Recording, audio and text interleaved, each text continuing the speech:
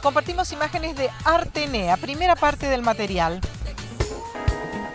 Con la finalidad de jerarquizar la pintura decorativa y las manualidades, se llevó a cabo en el Salón Gran Paraná de Casinos del Litoral la primera convención de pintores y artistas decorativos en el nordeste argentino.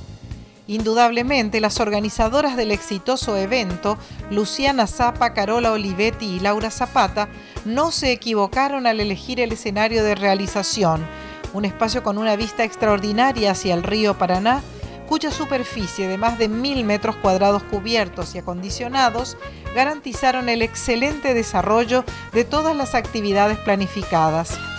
Hubo, entre otros, artistas pintando la obra en vivo, como el caso de Rodolfo Insaurralde, uno de los padrinos de esta primera convención de Artenea.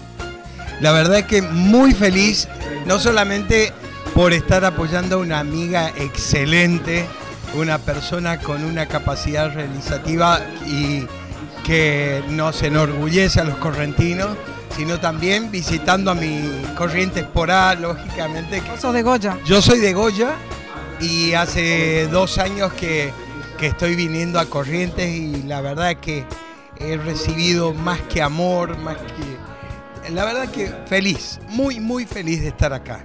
Luciana decía en reportajes anteriores que vos sos su padrino. Eh, sí, por supuesto. Soy su padrino y me enorgullece ser el padrino de una persona que tiene muchísimo talento, que pinta tan lindo y que es buena persona. Porque eso, eso es una conjunción maravillosa, porque eso es lo que se va a transmitir.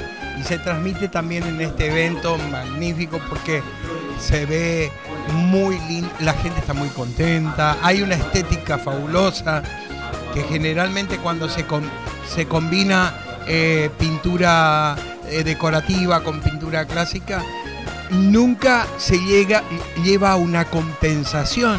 Acá hay una cosa estética que solamente Luciana lo puede hacer.